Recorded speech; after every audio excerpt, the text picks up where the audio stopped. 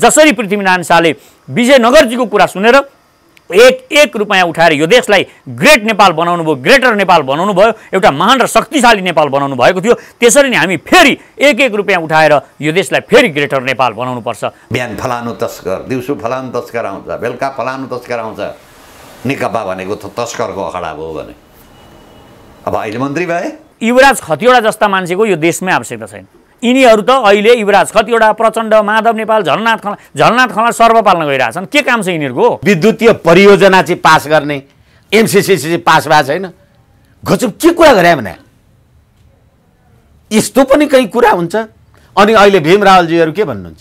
त्यो एमसिसी अन्तर्गतका योजनाहरू पास भए। खड्ग ओलीलाई गृह मन्त्रालयको गाडीमा भ्रष्टाचार गर्यो भनेर ल्याएछ त्यो किताबमा नेपालका कम्युनिस्ट पार्टीलाई अमेरिकन एजेन्ट बनायो। यहाँका पार्टीका निर्णय लगेर अमेरिकनलाई बुझायो। नागरिकसँग भिख मागेर यिनीहरूसँग लड्छौँ र यिनीहरूलाई यिनीहरूको अखाडामा यिनीहरूसँग खेलेर यिनीहरूलाई जित्छौँ यिनीहरूकै नियममा खेल्छौँ र यिनीहरूलाई पछारेर देखाउँछौँ। युवराज खतिवडा मात्र होइन हेर्नुहोस्। ऊ त ज्वाइँ नै भइसक्यो। अब यो नेकपाको पार्टीका ज्वाइँ भने पनि हुन्छ यिनलाई। सबै सुविधा गभर्नर भए कहिले के भए कहिले के भए यिनका यति धेरै पदहरू पाइसके यिनको हिसाब किताब छैन। अर्थमन्त्री नै दुईचोटि भयो होला नि होइन? अब यो मुख्य कारण भनेको के हो भने यिनीहरूले सिस्टम नि कसरी बनाएका छ जहाँ पनि नियम हेर्नुहोस् कर्मचारी जब भुप्पु हुन्छ त्यसलाई आयोगदेखि लिएर सबैतिर लाने यिनीहरूले नियम बनाएका छन् हेर्नुहोस्। यो कर्मचारीलाई त्यो कुनै पनि सरकारी अरू पदमा लाने हामी नियमको विरुद्धमा छौँ। एउटा किसानको मल हाल्दा सय मुरी धान फल्छ भने मल नहालेर पचास मुरी धान फल्यो भने त्यो क्षतिपूर्ति अहिले प्रधानमन्त्री र कृषि मन्त्रीले बुझाउनुपर्छ। यिनीहरूका प्रधानमन्त्रीहरू यिनीहरूले के गरे देशमा यी जसपाहरू जुन विदेशी दलाली काम गरिरहेको छ जसपा पार्टीले के गर्यो यिनीहरूका चौहत्तरवटा मन्त्री भए यिनीहरूले के गरेको देशमा? अनि राजावादीहरू यत्रो वर्ष राजा भए यिनीहरूले के गरे? यिनीहरूले कसैले केही गर्नेवाला छैन। नयाँ शक्ति चाहिन्छ नयाँ शक्ति भनेको सचेत नेपाली हो। त्यस कारण यिनीहरूले गर्थे भने यो सतहत्तर वर्षमा सत्तरी वर्षमा गरिसक्थे। यस्ताहरूको विश्वास गरेर अब पनि यिनीहरूलाई हामीले देश जिम्मा लाउनु भनेको यो देशलाई यो देशलाई तन्नम बनाएर यो देश दलाल बनाउने इन्डियाको इन्डियाको एउटा भोलि दास बनाउनको लागि हामीले पनि लाछाप गरेको हुन्छ। खड्गवेलले भने होइन। एकाउन्न सालमा महाकाली सन्धि पास गर्दा महाकाली सन्धि पास भएपछि अरबौँ डलर आउँछ। नेपालमा पश्चिमबाट सूर्य उदय हुन्छ। खोइ त पैसा। खोज्नु नपर्ने नेपाली जनताले। युवराज खतिवडाको आवश्यकता भनेको के हो भने उनलाई एक ठाउँ त लानु पर्यो। नभए त अर्थमन्त्रीबाट निकालेपछि त अपमान हुने भयो। यो युवराज खतिवडाले गरेर एमसिसी केही गर्ने पनि होइन केही तातो पानी लाउने पनि होइन केही पहिले भइसकेको छ त्यही लागु गर्ने हो। यिनले केही पनि गर्ने होइन। अब केही थप गर्नु पनि छैन यिनले अमेरिकामा गएर। यिनलाई एउटा पद चाहिएको छ। पद कहाँ खाली छ भन्दा त्यही राजु खाली छ। त्यहीँ लगेर हाल्यो। आफ्नै मान्छेले यिनको केही अब यो देशमै आवश्यकता छैन। के को एमसिसी जनरल बक्सीले भनौँ मैले हामीले पाल्यौँ हुर्कायौँ पोषण गऱ्यौँ ल्याएर सत्तामा राखिदियौँ। भारतका बोका चाहिँ बोकेका कुकुरले के गर्छ? जनताको हित गर्छ? गरौँ। देख्नुभयो नि त एउटा एउटा एउटा सकारात्मक आइदिनु मलाई। एमसिसीको पछि लाग्ने यहाँ हजारौँ छन् यस्तो यस्ता दलालहरू। यो एउटा प्यादा हुन् यो कुनै ठुलो कुरा होइन। यिनीहरूको नाता छ यिनीहरू यस्तै मानिसहरू मात्र गएको छन् तपाईँहरू कोहीसँग धनी छ भन्दैमा आफू हिन्ताबोध नगरौँ। कोही भ्रष्टाचार गरेर पैसा कमाएको छ यी दलाल दलहरूले पैसा कमाएका छन् भन्दैमा यिनीहरूसँग कमजोर भनेर तपाईँले बोल्नुपर्ने र म सक्दिनँ भनेर ठान्नुपर्ने कुनै पनि जरुरी छैन। राजा आउने राजा खे गर्ने यस्ता खेल गर्न खोज्यो भने अब यो देशमा हामीले के गर्छौँ हामी सचेत नेपाली कसरी आउँदैछौँ त्यो पनि बुझौँ अनि बोलौँ बद्ध खेल हो। यो नागरिकहरूलाई हामीले बुझाउनुपर्छ। र नागरिकसँग जसरी भगवान् गौतम बुद्धले भगवान् बुद्धले उहाँलाई पनि राजा महाराजाहरूले जति चाहिएको जति भण्डारण उहाँले उहाँले मागेको खण्डमा उहाँका गोदामहरू भर्ने गरी अन्न दिन सक्थे तर पनि उहाँ नागरिकको घरमा आफ्ना भिक्षुहरूलाई भिक्षा माग्न पठाउनुहुन्थ्यो किनभने अहङ्कार जाओस् भनेर। हामी पनि नागरिकसँग भिख माग्छौँ। नागरिकसँग भिख मागेर भिक्षा मागेर एकमुठी चामल मागेर एक रुपियाँ दुई रुपियाँ पाँच रुपियाँ सय हजार दस हजार जति हुन्छ मागेर हामी यिनीहरूको विरुद्धमा लड्छौँ। र नागरिकसँग हामी उहाँसँग हामी भन्छौँ भने हामीलाई नोट पनि दिनुहोस् थोरै। र भोट पनि दिनुहोस्। हामी सिधै यही भन्छौँ। हामी यस्ता भ्रष्ट दलालहरूको पैसा लिएर लड्दैनौँ चुनाव। र यी दलाली भ्रष्टाचार गरेर यो देश यिनीहरूले जुन ब्रह्मलुट गरेका छन् त्यही पैसाको दुरुपयोग गरेर यिनीहरू नागरिकमाथि जुन हस्तक्षेप गर्छन् भोलि पनि जित्ने र यो देश लुट्ने यिनीहरू प्रपञ्च मिलाइरहेका छन् त्यो कुरा हामी नागरिकलाई बुझाउँछौँ। र एक रुपियाँ दुई रुपियाँ पाँच रुपियाँ जति हुन्छ हामी भिख मागेर नागरिकसँग भिख मागेर यिनीहरूसँग लड्छौँ र यिनीहरूलाई यिनीहरूको अखाडामा यिनीहरूसँग खेलेर यिनीहरूलाई जित्छौँ यिनीहरूकै नियममा खेल्छौँ र यिनीहरूलाई पछारेर देखाउँछौँ। यो मलाई विश्वास छ मेरो सचेत नेपालीको टिमलाई विश्वास छ र यो देशका नागरिकलाई पनि चाहे हामीले चाह्यौँ भने गर्न सक्छौँ भन्ने विश्वास छ किनभने इतिहास छ चाहे जसले चाहन्छ जसले इच्छा शक्ति राख्छ जसले म गर्छु भन्ने आत्मविश्वास राख्छ उसले गर्न सक्छ। त्यस म नेपालका नागरिकहरूलाई कोही कोहीसँग धनी छ भन्दैमा आफू हिन्ताबोध नगरौँ। कोही भ्रष्टाचार गरेर पैसा कमाएको छ यी दलाल दलहरूले पैसा कमाएका छन् भन्दैमा यिनीहरूसँग कमजोर भनेर तपाईँले बोल्नुपर्ने र म सक्दिनँ भनेर ठान्नुपर्ने कुनै पनि जरुरी छैन।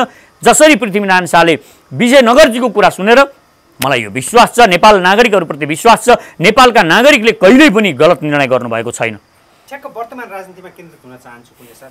अब अहिलेको अवस्थामा केपी शर्मा ओली सरकार निकै नै आलोचित हुँदै गएको छ। फेरि युवराज कतिवटा जो हिजोको दिनमा अर्थमन्त्री थिए अर्थमन्त्री हुँदै आर्थिक सल्लाहकार हुँदै अहिले अब नेपालका लागि अमेरिकी राजदूतमा सिफारिस भएका छन् अथवा नियुक्ति भएका छन् भन्दा फरक नपर्ला। यो अवस्थामा युवराज कतिवटा किन यति महत्त्वपूर्ण बने नेपालको राजनीतिमा? यिनीहरूलाई हटाउनुपर्छ। यिनीहरू पैँतालिस वर्षदेखि माथिकाले हुने अनि अनुभव हुनुपर्ने पहिला यति वर्ष कर्मचारी हुनुपर्ने भनेर यो कर्मचारी यो विदेशी दलालहरूले विदेशी दलाल कर्मचारीहरूले दलालहरूकै पकडमा राज्य राख्नुको लागि यो नियम बनाएका छन्। यो सबै हामी खारेज गर्न चाहन्छौँ। यी बुढा खाडा यस्ता दलाल यी खोके बुढाहरूलाई लगेर अहिले जुन स जहाँसुकै लगेर राखेर यो देशलाई बन्धक बनाइएको छ हामी त्यहाँ पैँतालिस वर्षदेखि मुनिका युवाहरूलाई लिएर जान चाहन्छौँ र यिनीहरूले जुन नियम आयोगदेखि लिएर जताततै यिनीहरूले जुन नियम बनाएका छन् पैँतालिस वर्षदेखि माथिका भूपू कर्मचारी हुनुपर्ने योग्यता यस्ता बनाएका छन् हामी त्यहाँ खुला प्रतिस्पर्धाबाट युवाहरूलाई लिएर जान चाहन्छौँ र यस्ता मानिसहरूलाई यो गरेको खण्डमा यिनीहरू त लाग्छन् अनि मात्र यो देश बन्छ। नभए त यस्तैले अवसर पाउने हो। यिनै प्रिय पात्र युवराज कतिवटा? उनको आवश्यकता एमसिसीकै हो त्यसकारण उनले अहिले त्यो अवसर पाए अमेरिकी राजदूत बन्न। त्यो केही पनि होइन यस्ता एमसिसीको पछि लाग्ने यहाँ हजारौँ छन् यस्तो यस्ता दलालहरू। यो एउटा प्यादा हुन् यो कुनै ठुलो कुरा होइन। यिनीहरूको नाता छ यिनीहरू यस्तै मानिसहरू मात्र गएका छन् अब वामदेवको त यी सबैलाई तपाईँ पाहाडमा लानुहोस्। एउटा पाहाडमा लगेर कतै थुनेर गुफामा थनेर त्यहीँ हड्डी गराउनुपर्छ यिनीहरू। यिनीहरूलाई राजनीति पनि आउँदैन कर्मचारी पनि बनाउँदैन नयाँ युवाहरूलाई लिएर जानुपर्छ।